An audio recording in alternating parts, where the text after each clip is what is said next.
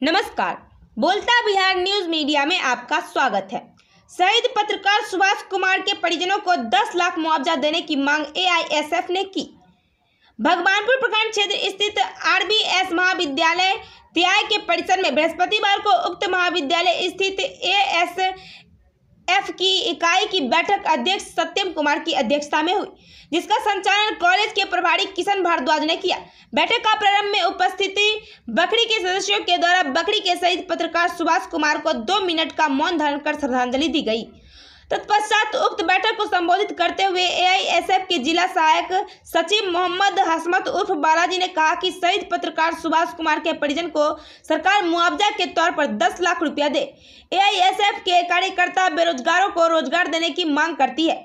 वहीं आर्मी की बहाली सहित अन्य लंबित सरकारी वैकेंसी को यथाशीघ्र प्रारंभ करने की भी मांग की। उन्होंने कहा कि बिहार सरकार ने चुनाव के दौरान 19 लाख युवाओं को रोज़गार देने की बात कही थी, लेकिन दो वर्ष बीत जाने के बावजूद उक्त वादा चुनावी जुमला साबित हो रहा है। जिसे हमारा संगठन बर्दाश्त नहीं करेगा। वहीं कॉलेज प्रभारी किशन भारद्वाज ने कहा कि सरकार राष्ट्र कवि रामधारी सिंह दिनकर के नाम से जिला मुख्यालय में विश्वविद्यालय खोले। स्नातक के प्रथम एवं तृतीय खंड का रिज़ल्ट अविलंब प्रकाशित करे तथा जिला स्थित उद्योग में स्थानीय युवाओं को प्राथमिकता दे, अन्यथा संगठन आंदोलन करेगा। मौके पर सचिव शुभम कुमार, सचिव मोनू कुमार